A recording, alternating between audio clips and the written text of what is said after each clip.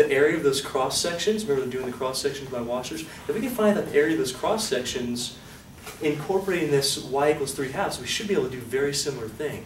So let, us think about it. If I'm to revolve, so this is, f of x is basically your radius. If I'm going to revolve this thing around the 3 halves, can you tell me what the rate, it's going to be so hard for me to draw, I don't know if I can do it. Um, I'll try.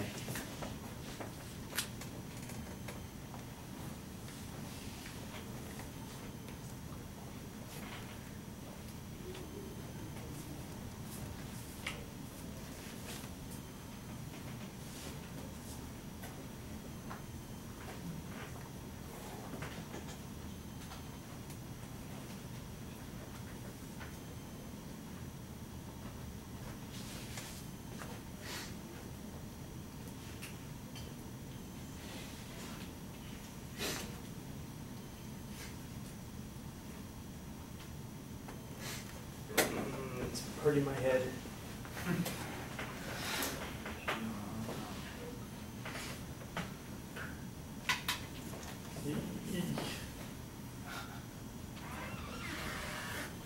Too many circular shapes. There's so many. There's so many going on, but it almost looks like an eyeball. Looks like an eyeball, but that's flat. This is flat at the end. This is flat at the end, uh, and there's this little space that goes around. You see the space that goes around? That, oh, you know what, this would make it a little clearer, um, this right here.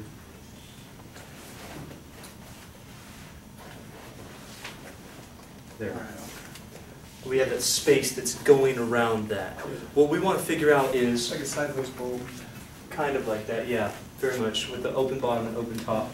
If this is y equals three halves, here was basically the idea for going around an axis. Look, find the radius, square it, times it by pi find the other radius, the inside radius, square it, times it by pi, and then subtract them. That's the surface area of the outside one minus the surface area of the inside one, and then we integrate the surface area. That was the idea. Do you get the idea? Well, now this is very similar. Let's just think the outside one is, or the inside one is. When, when you go back to here, what function is this stemming from?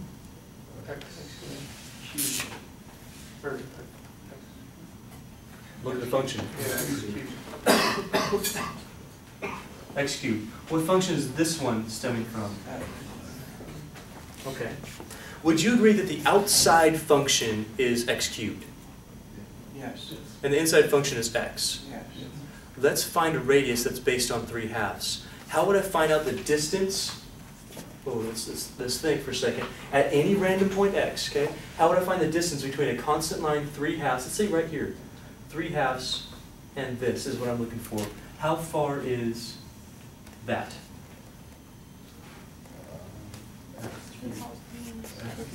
Say it again. Three halves minus. It'd have to start with three halves, wouldn't it? Because three halves is a little bit higher. Have to start with the three halves, because that's here, three halves. And then you said minus, minus what? X, x cubed. Ah. Would you agree that at any point the height of this function is x cubed? Mm-hmm. Therefore, at any point, the distance between here and here is 3 halves are constant minus x cubed. And that's exactly right. Can you do the same thing for a random point from here to here? How much is that? 3 halves, that's where we start, that's our constant, minus x. That's the height of the function at x. So right here says, this whole thing from here to the x-axis is 3 halves. The thing from here to here is x. So if I take 3 halves minus x, I will find the radius. Now that's kind of hard for some people to grasp. Do you grasp it? How many people do feel okay with that? Now, is that for the entire thing, like if you were to do above three? halves? Radius is the radius, right? Yeah. So we use the, the fact that this is apart from the x-axis to figure out the radius. Whether or not this is above or below, that's the same distance. It's still 3 halves minus x. Did you get that? That's right. You sure? So radius is radius. Doesn't matter how you get it, that's the radius. Now, we're going to go ahead and fill this out, this out actually, using this idea. This was the radius, that's why I had I walked you through this. This was the radius, this is the radius, correct? So for us, when we have a y equals a constant line and we're going around that, that actual axis, it's gonna augment this just a little bit. It says, well, really what we have is the y equals a constant minus the, in this case, it's the outside function, not the top function, the outside function. That's weird to think about, outside function.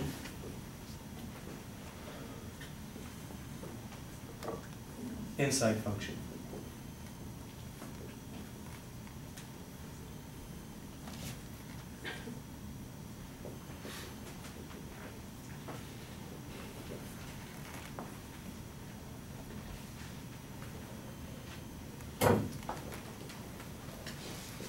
Outside, inside.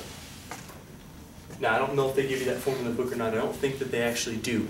Uh, but they expect you to understand the idea that all you're doing is taking a sliver of it, a slice, a washer, finding out the radius, look at that, the radius here and the radius here, squaring them, times them by pi, and then subtracting them. You find the surface area of the outside circle minus the surface area of the inside circle.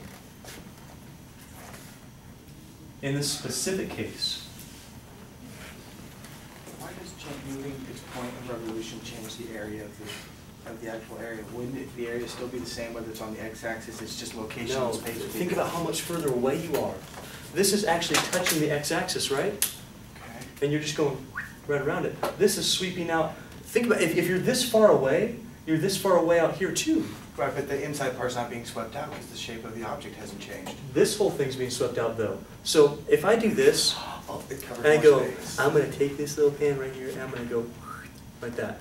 How much space is it covered? I don't know, this much, whatever that is. Uh, 37 pi over 4. No, I'm just kidding. awesome if I could do that. Then how much is this? With the sound effect. Does it sweep out more volume or not? Because it covers more space. Of course, it covers a lot more space. It'd be easy if we could, if we had, could just do the same thing, but it's not the same thing. This goes all the way around something that's further away than the x-axis right now, yes. That formula, is it f of x squared or c? Oh, you know what, uh, I just forgot this. Oh, so C doesn't square. No, no, no, no, no. What did I do to you guys? Goodness me. No, I was right, I was right. But the C gets squared. Radius. That was where my mistake. Radius squared and radius, squared. I just had too many little brackets, sorry, I got confused. Radius, uh, hopefully you understand the idea, I didn't just jack it up for you.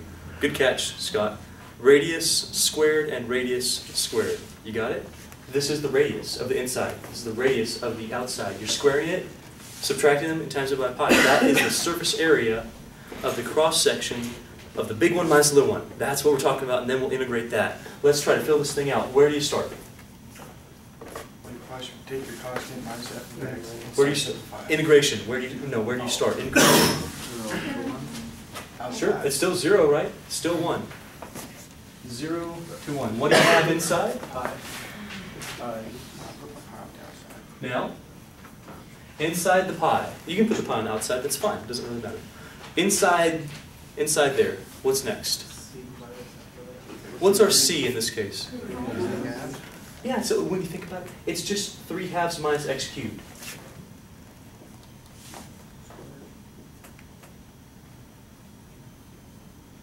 Squared, sure, squared, of course. But that's saying the outside function, that's the larger of the two radii, the outside function. Minus, inside function, give me that. Three, uh, Three halves Hmm? Keep going. minus x. Yeah.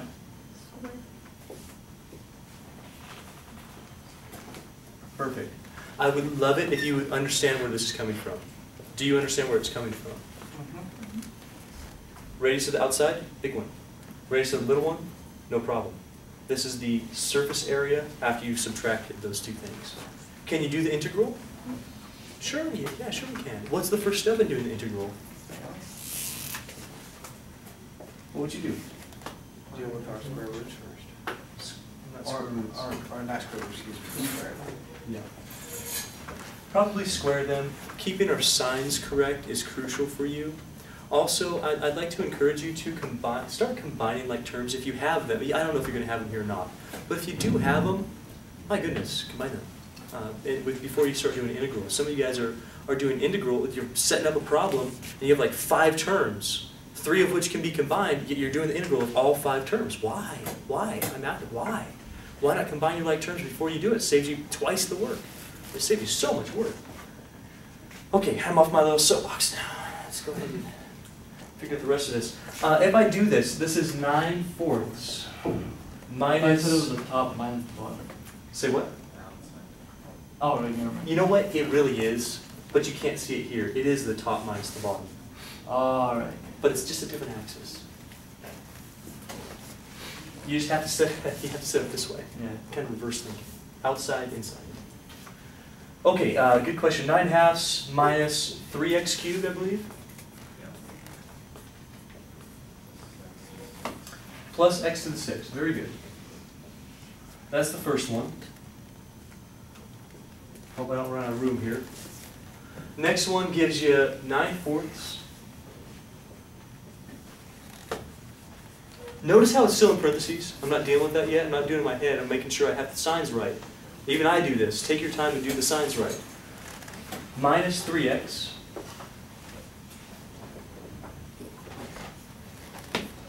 Plus x squared.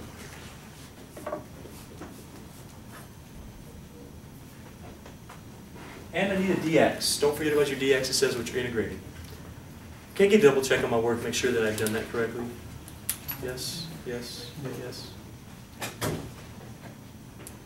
you see that far? Nine fourths minus three x uh, cubed plus x to the sixth, then minus in parentheses nine fourths minus three x plus x squared. Yeah, you know what? We are gonna do that. We're gonna distribute negative, we're gonna look to see if we can combine anything after that. We have nine fourths, we have minus three x cubed plus x to the sixth minus nine fourths plus three x minus x squared dx. I'm gonna move over here. Do you have any questions on the picture that I drew firstly? Okay.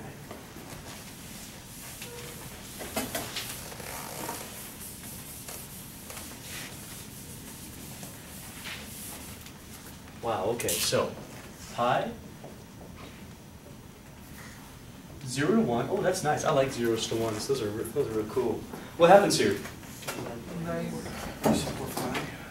This is why you'd simplify before you do an integral, because otherwise you'd integrate nine fourths and you have nine fourths x twice, and you're you're gonna eventually get rid of those numbers anyway. Why not get rid of them now and, and don't waste time integrating? The other things you can't combine any of that. I'm gonna write in the appropriate order. I'll write x to the sixth. I see a minus three x cubed. I see a minus x squared. And a, what was it, plus three x? Can you do the integral? Mm-hmm. Of course. Yeah, it's actually not bad, right? It's the setup that's hard. It's understanding that.